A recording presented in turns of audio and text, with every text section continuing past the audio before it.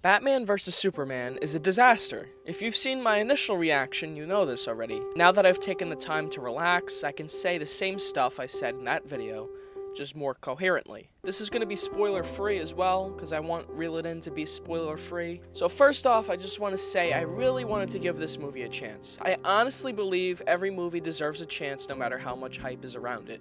That's why I ignore marketing for the most part. I know I've been making fun of this movie for months, but if it genuinely interested me, I would have given it a chance. Everyone walked into this movie with some sort of bias, so don't accuse me of having a bias. I was liking the movie just fine for the first few minutes or so, and then Bruce Wayne starts ascending as bats fly around him, and that's when it started to go downhill. Basically, when people started talking is when it went downhill. Because the problem is the writing, dialogue, directing, and symbolism is on the level of a film student.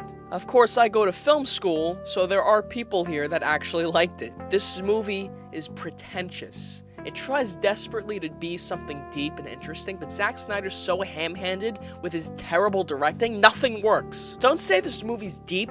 Don't say I don't have the mental capacity to understand what's going on.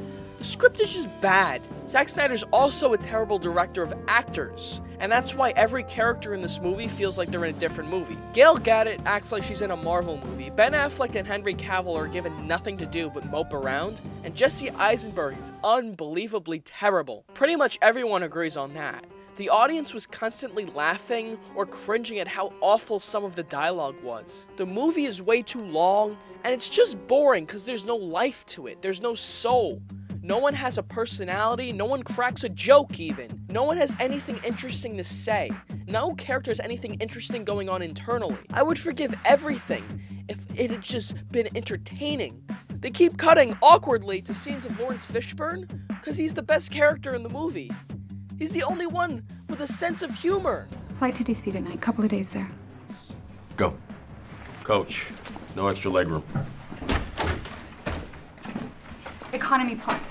Coach! They keep cutting to him literally just so he can tell a joke and then they cut to the next scene. The scene he's in isn't even important. There's so much of this movie I feel that's on the cutting room floor that should be added in. But the thing is, there are scenes in this movie that could be easily cut. There's a scene on a mountain with Superman that's one of the cringiest things I've seen in years, and that so easily could have been cut out of the movie. It could have cut so many scenes out of this movie either to make it shorter or to add scenes in that make the plot make more sense. The universe itself doesn't make much sense. And if you haven't read these comics, you'll have no idea what's going on. They never give Wonder Woman a proper introduction. She's shoved into the movie, and they never explain why she's there, or what she's doing, or what her powers are. If I'm going to say anything I liked about this movie, I'll say um, the music is good. It doesn't fit with the movie, but the music is good.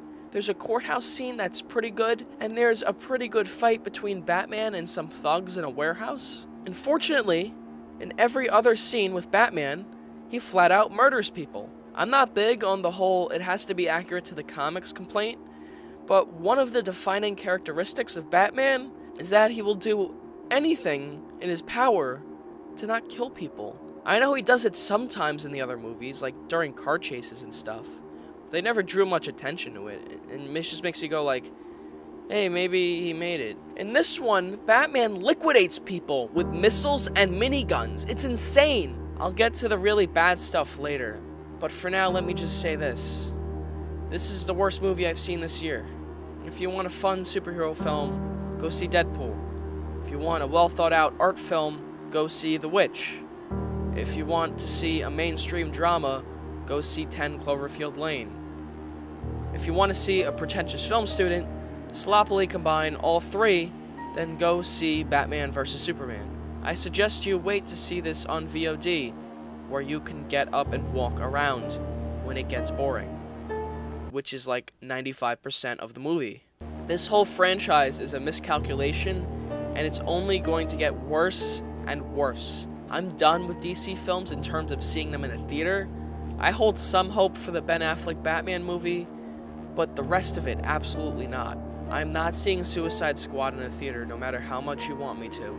I'm not seeing a Wonder Woman film in a theater just because I don't want to make a fool of myself. This is the kind of film that makes me not want to watch a movie again.